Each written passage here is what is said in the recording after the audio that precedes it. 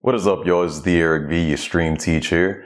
And maybe you just got your hands on your brand new PS5, or maybe you just got your hands on an Elgato HD60S, or maybe both. And you want to show your friends all those exclusives that PS5 has, like Godfall and Bugsnax and the Demon Soul. That doesn't count. That's a remake. Maybe you want to show them your gameplay. So let's get into it. It's easier than you think. Class is in session.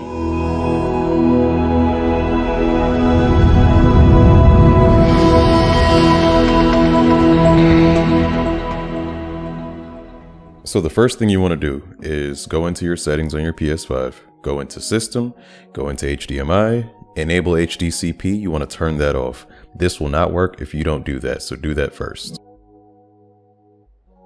You want to plug in that HDMI cable that came with the Elgato into the in port of your Elgato HD60. And you're going to plug in that USB cable on the same side of it. There's only one port, so you can't plug in that USB in the wrong spot. I'd normally keep those two cables plugged into the Elgato at all times, just so that I know where the cables are and I don't confuse myself with the HDMI cables. After that, I start to plug in my USB into my laptop. And yes, I game and stream off of a laptop. I will not be judged. And sometimes it's hard to get that USB port in there and, you know, it's hard to find the hole. You know what I mean, fellas? You get it.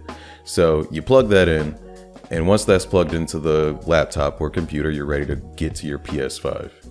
You want to unplug the cable, not the power cable like I did here. Don't do what I did and you want to plug in that HDMI from the PS5 into your Elgato and that other cable on the in port of your Elgato you want to plug into your PS5.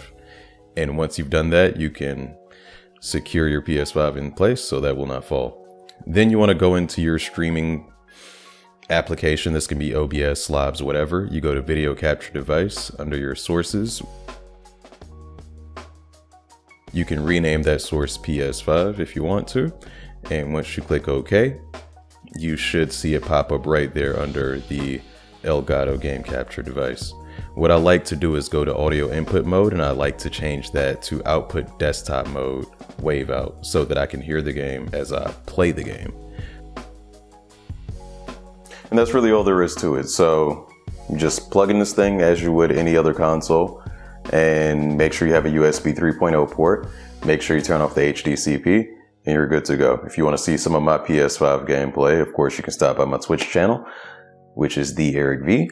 And if you got any questions, ask them in there. Ask them in the comments, wherever. I can get to you in my Discord too. Class dismissed.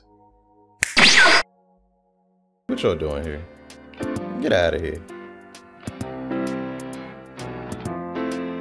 It's the Arrow Dogs. I have to go a little bit lower. Canine anatomy, feline anatomy. You know what I meant. What's up, Shy Shy Doty?